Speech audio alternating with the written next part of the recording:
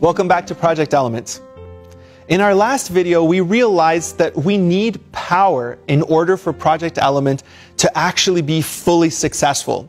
And so we started to see how we could actually create power from these elements. And the way is that churches must find new workers, they must train them, and they must feed them. Now, what about these workers? Is it sufficient for them simply to be involved in feeding new souls? Actually, they have a second work as well. They need to be training the lay members in the mission evangelism that they need to be doing. We find this in Testimonies, Volume 5, page 256.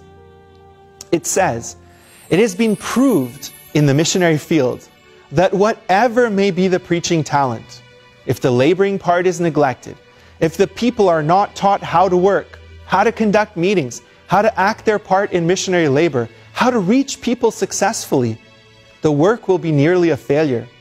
There is much to be done in the Sabbath school work also, in bringing the people to realize their obligation and to act their part.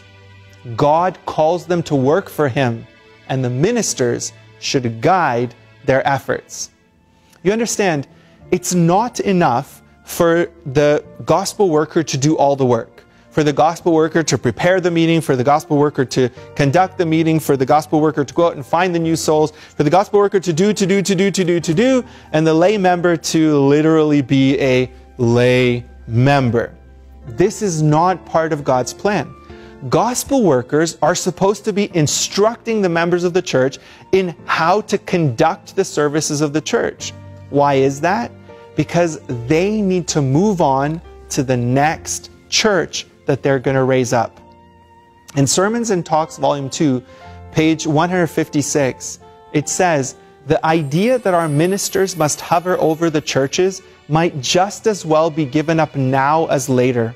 The members of the churches must be taught to keep themselves at work showing the intelligence and spirituality God requires in those who claim to be members of His church.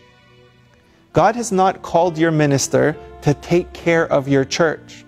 He's called your minister to raise it up, to sustain it until it is ready to take care of itself so that they can move on to start the next church. With this in mind, he must train people to do the work. Evangelism, page 382. Our ministers should plan wisely. As faithful stewards, they should feel that it is not their duty to hover over the churches already raised up, but that they should be doing aggressive evangelistic work, preaching the word, and doing house to house work in places that have not yet heard the truth. They will find that nothing is so encouraging as doing evangelistic work in new fields. So we see that in order for Project Element to have power, it is necessary for the gospel workers to be training the lay members of the church in how to conduct all the meetings, all the services, and all the work of the church. When you do this, you extend the power that is given to the church by these elements that God has put in place and it means that you will be the most effective in your personal mission work.